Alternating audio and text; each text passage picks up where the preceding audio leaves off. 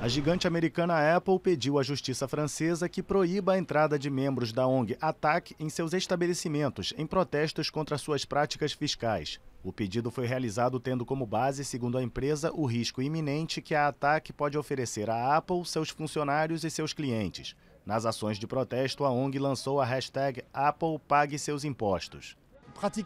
Praticar massivamente a evasão fiscal é inaceitável para os cidadãos e os contribuintes. Então nós lançamos um alerta. Nós defendemos o interesse geral. Estamos do lado dos contribuintes e dos franceses. A Apple pediu à justiça francesa que proíba a entrada dos ativistas em suas lojas na França por um período de três anos, sob pena de multa de 150 mil euros e que condene a ONG a pagar 3 mil euros à empresa.